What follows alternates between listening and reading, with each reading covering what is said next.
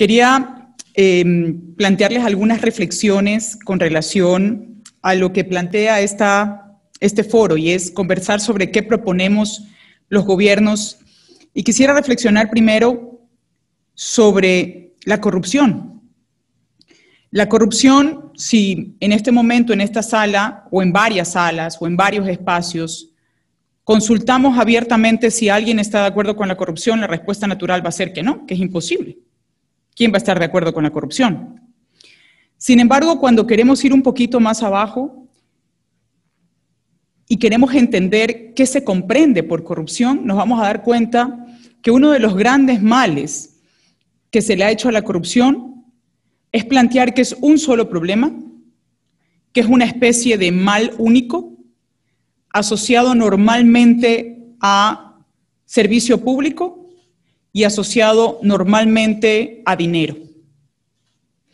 ¿Y por qué planteamos que es un daño que se ha hecho en la concepción o en la conciencia social? Porque efectivamente la corrupción no es otra cosa que yo por encima de la ley, al final del día. Y la corrupción tiene que ver con discernimientos éticos. En términos de lucha contra la corrupción, no robar es lo básico. Ahí no hay nada que discernir. Hay poco que discernir cuando se trata de algo que no nos pertenece. La ética es transversal y la ética tiene que ver con los comportamientos de todos en el espacio donde estemos.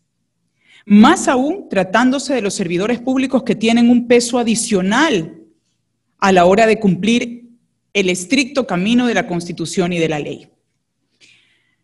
La verdadera y la robusta y la auténtica democracia se basa en el cumplimiento de la Constitución como norma ética fundamental de nuestros pueblos, como norma ética fundamental. Y realmente el daño que plantea la corrupción es un daño que va directamente relacionado con los derechos humanos. Lo primero en términos de corrupción es que no robar es lo básico. Segundo, que la corrupción es un patrón de comportamiento. Y al ser un patrón de comportamiento es atinente al ser humano. Y que es por eso que plantearse sistemas cero corrupción no es real. Lo que sí es real es que los sistemas institucionales maximizan o minimizan la posibilidad de corrupción. Y es allí donde está el desafío de nuestros países. Y la corrupción y la lucha contra la corrupción no depende de una persona, no depende de una institucionalidad del Estado, depende de todos los que hacemos país. Eso también es fundamental comprenderlo.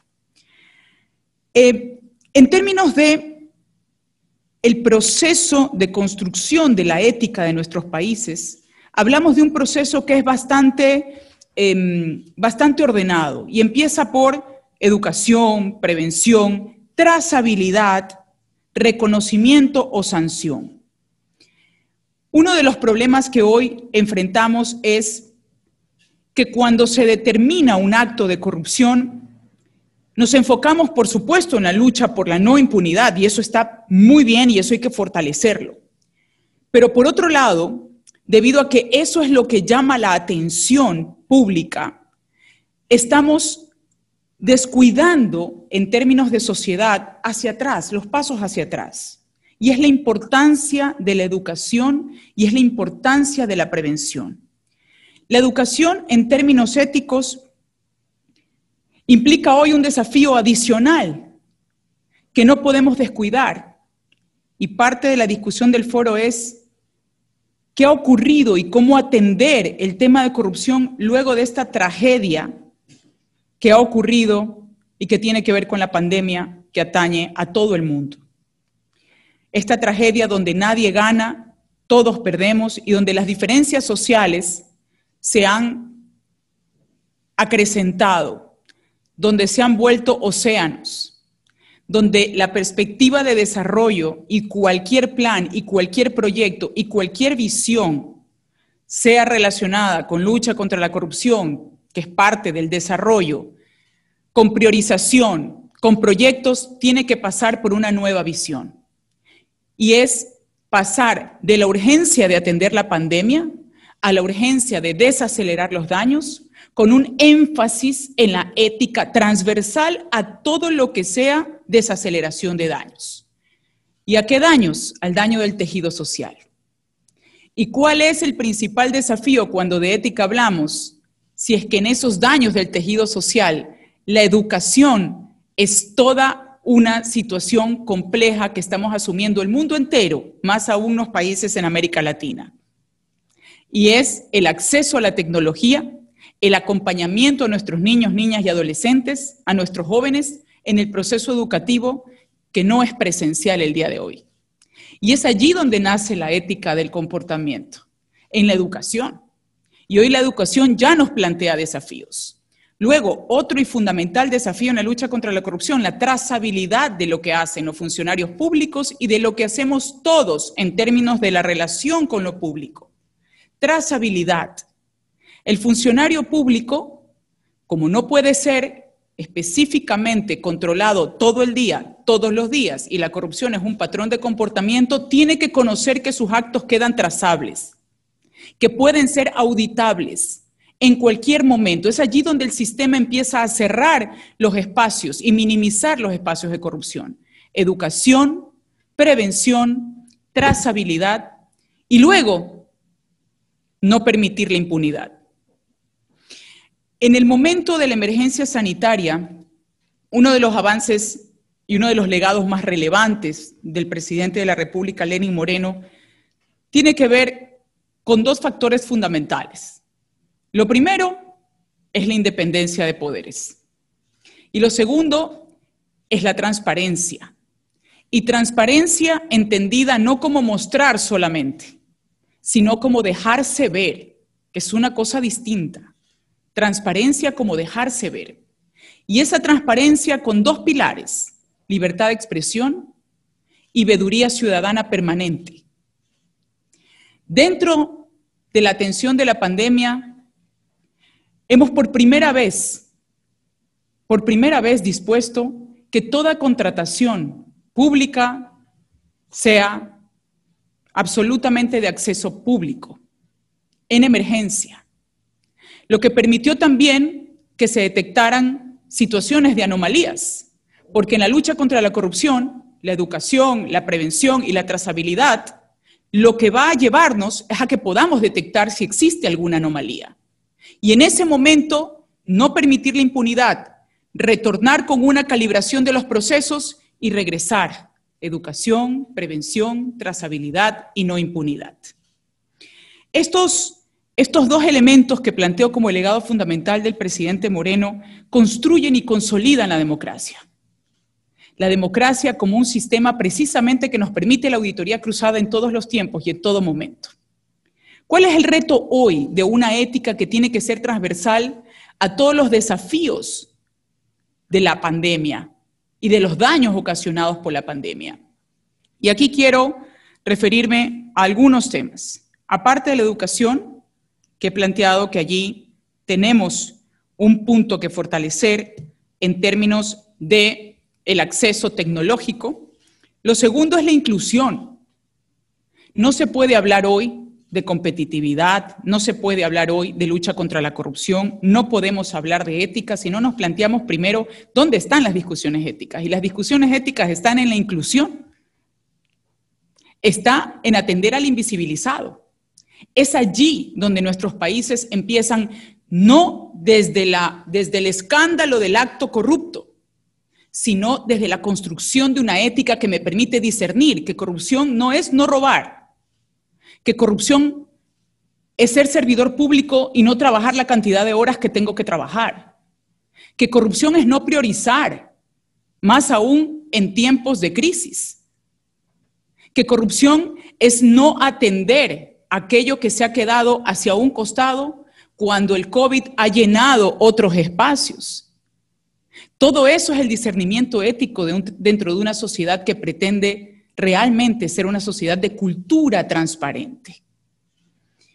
En términos de cierre de brechas, los daños del COVID incluyen afectaciones a las condiciones de vida, al empleo, a la propia inclusión, la mayor cantidad de empleos que se han perdido tiene que ver con jóvenes, tiene que ver con mujeres. Los medios de vida en la ruralidad, especialmente la mujer rural. La violencia de género que crece en función del confinamiento. Todo eso tiene que ser trabajado desde la ética transversal. Por otro lado, en términos de empleo, la facilitación, sostener que las sostener o priorizar en las instituciones un sistema de gestión de controles en riesgo. ¿Qué quiero decir con esto? Hacerle más fácil la vida al formal. El informal va a ser informal y camina por la informalidad. El formal quiere cumplir. El formal quiere acceder. Y es el Estado el responsable y el gobierno el responsable de gestionar con facilitación sus procesos, rompiendo, no dando espacio a la burocracia mal comprendida. No dando espacio, facilitando una gestión de riesgos integral. No significa, no, no significa desaparecer procesos. No todos los procesos, no todos los procesos deben ser cuestionados. El proceso hay que cumplirlo con facilidad lo que no podemos irnos es irnos al extremo de carecer de suficientes procesos, porque el proceso bien trabajado nos garantiza la trazabilidad y eso es fundamental para la lucha contra la corrupción. Por otro lado, es importante la profesionalización del servicio público y es fundamental que el servidor público en este momento comprenda el rol que tiene ético de llevar adelante la lucha por la reactivación, por sanar, por comer, por producir. Tenemos los liderazgos. Los temas éticos se manejan bottom down, de arriba hacia abajo, se cascadean. Si el líder plantea discernimientos éticos correctos en todo momento, todos sus equipos de trabajo van a seguir esa visión y ese liderazgo. Solo en estos escenarios podemos luchar contra un mal que lo que, lo que hace es debilitar las instituciones. Lo que plantea o su objetivo es debilitar la confianza de los ciudadanos en sus instituciones. Y las instituciones deben crecer en madurez, deben crecer en institucionalidad, esto es, la posibilidad de, independientemente de quienes estemos hoy en el servicio público, garantizar el acceso de derechos. Considero que dentro de las acciones que se deben proponer, no solamente los gobiernos, sino cada uno en los distintos ámbitos de acción, tengo algunas que quisiera compartirles. Desde el ámbito administrativo, la madurez institucional, promover la madurez institucional, sistemas de prevención implementados en las instituciones para denuncias tempranas, sistema de sanciones administrativas robustas, un sistema administrativo de sanción robusto y un sistema de auditoría cruzada fortalecido. Eso desde el ámbito administrativo. Desde el ámbito legislativo, la inmediata aprobación de normativa que fortalezca la confianza de los ciudadanos en que los actos de corrupción no quedan en la impunidad el presidente Moreno ha presentado a la Asamblea Nacional en octubre del año pasado ya la ley de extinción de dominio y también un proyecto de reforma al Código Integral Penal para fortalecer las penas ante la corrupción. La no impunidad es parte del ciclo, es parte del método. No podemos educar si al final no pasa nada. No podemos irnos hacia, el no, hacia la no impunidad si no educamos. Es parte de un método. Desde la perspectiva regional, abordar todas las nuevas temáticas a la luz de la desaceleración de los daños del COVID, la lucha contra la corrupción a la luz de la desaceleración de los daños del COVID, priorizando, priorizando, discerniendo sobre los temas fundamentales de priorización en estos momentos. Eso es parte de la construcción ética. Y allí considero que dentro del mecanismo de seguimiento de la implementación de la Convención Interamericana contra la Corrupción, fortalecer las discusiones con relación a los desafíos de educación y con relación a la necesidad de una vigilancia en la implementación de todas aquellas acciones que construyan ética para desacelerar los daños del COVID. Pasar de la urgencia de atender la pandemia a la urgencia de desacelerar, los daños. Para ir cerrando, porque me quedan acá pocos minutos, están, están poniéndome algunos, algunos tiempos, la mejor forma de consolidar la democracia es promover los derechos de la gente, es promover los derechos de la gente. La ética se construye no desde la coyuntura, se construye desde lo esencial, desde las discusiones esenciales y de las problemáticas esenciales de acceso a oportunidades de nuestros países. Precautelar siempre como base fundamental de la democracia la independencia de los poderes, la transparencia a través de la libertad de expresión, la transparencia a través de una verdadera y efectiva vigilancia ciudadana. Humanizar y profesionalizar el servicio público. Hoy más que nunca, la humanización del servicio público es un clamor ético de nuestros países. Fortalecer y profesionalizar la justicia.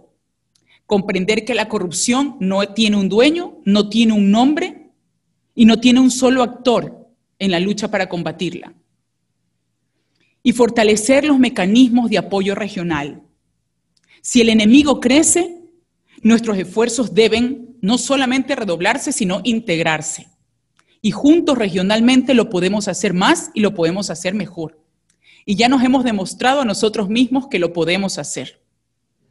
Tres ideas finales que repito siempre que hablo de corrupción y es no al modelo mesiánico, no abandonar el método, y lo tercero es no perder la esperanza. La ética es rentable y se ve y se vive en los que más lo necesitan. Sembramos futuro.